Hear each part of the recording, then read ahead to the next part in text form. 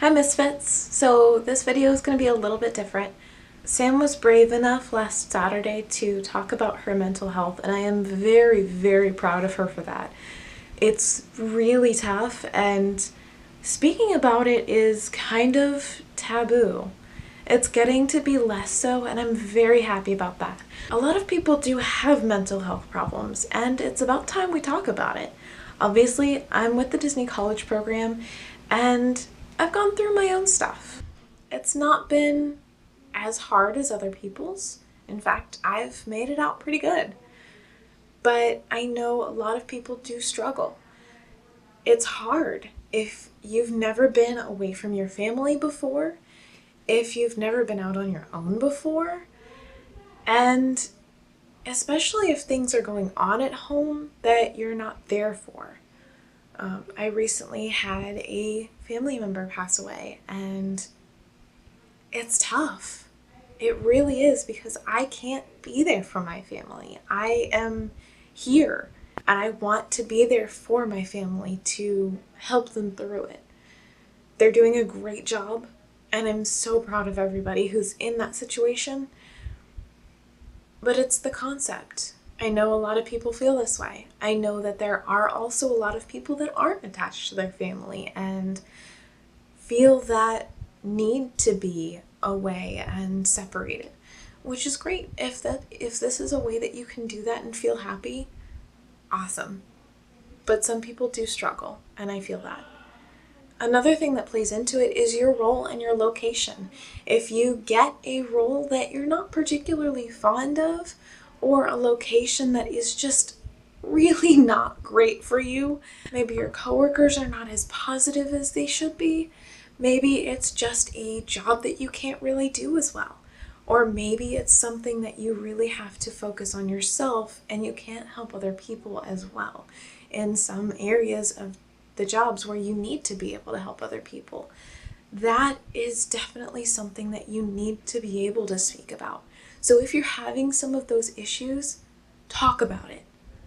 It makes life so much easier because then you have that communication going. People understand where you're coming from if something happens. People understand what's going on, and maybe somebody can help.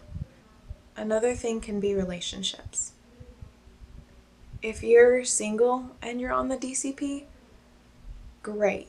That can provide its own stressors because there are the pressures of finding someone, of meeting your true love and finding your happily ever after on your Disney College program.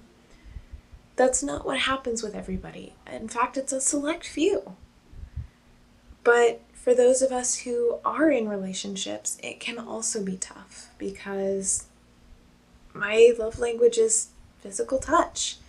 And I can't be with the people that I love. I can't be around the person that I'm dating I, because I'm so far away. And that travel time is so difficult. It's a long drive or flight for some people, and it's, it's expensive.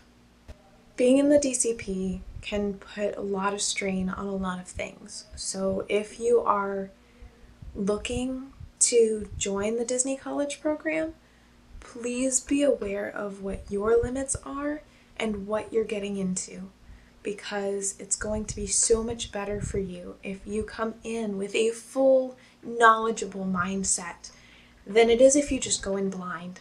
Personally, my mental health has been up and down. I haven't had a whole lot of bad days, which is great, but that's because I've figured out myself, I've figured out what I can do, what my limits are, and how I want to feel. I thankfully don't have a lot of different brain chemistry that affects my mood and whatnot, but I know a lot of people do. I was blessed with not having to struggle with that. I have a little bit of mild depression and I have anxiety.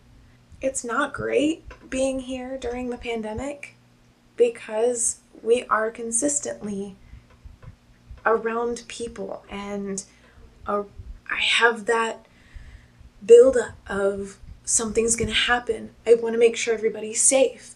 I can't make sure that I'm safe and everybody else is safe if people aren't following the rules. And that's where it becomes a problem for me. That's speaking on the anxiety part. On the depression part, thankfully, I got out of a situation that was starting to get really bad for me. I was starting to feel stuck, like I wasn't going anywhere, and like I wasn't going to go anywhere. But finally, having gotten here, I feel like I'm doing something. I feel like I'm progressing, even if it's a little bit. The thing that helps most with that, I think, is being able to go to different places, being able to pick up at Fort Wilderness one day or pick up in Magic Kingdom instead of being in Animal Kingdom. That change of pace really does help with, help with my mindset and I get to learn things along the way. I love learning things. It makes things so much more exciting. So that's on the depression part of it. I also, of course, have my ESA, Cloud. Um, for those who don't know what an ESA is, it is emotional support animal. I have him because I have anxiety and I have trouble sleeping when I don't have that comfort around. I start to overthink really, really badly and I end up not going to sleep if I do that. But Cloud helps me feel comfortable. He makes me feel like I have something to focus on. And when I have something to focus on that's outside of my head, I'm not as much inside of my head. And in that case, I'm able to fall asleep easier. And with that, I can actually do my job well because when you're well rested, when you have the right nutrients, you can actually perform better. Your brain functions so much better. Um, it's like you're on a whole new life. Along with sleep, you need nutrients and you need a healthy social life. So, I have thankfully fallen into a group of wonderful people who have gotten me out of the apartment, who want to go experience things, who want to go do these things. And they're healthy towards each other. They help each other, they boost each other up. And that's the kind of environment, the kind of supporting environment that you need, that I at least need. Because if I'm consistently around people that are tearing me down, that are making fun of me, that are even just joking, it can be really damaging to the mindset and it's not great if you do happen to come to the DCP and you do happen to fall into people that aren't as great, it's okay to let them go. It's okay to find a new group that you're going to feel more comfortable with. I've lectured you guys long enough. My mindset here is interesting. I love this environment, and I really think that's what's helping me. If it's not the environment for you, that's fine.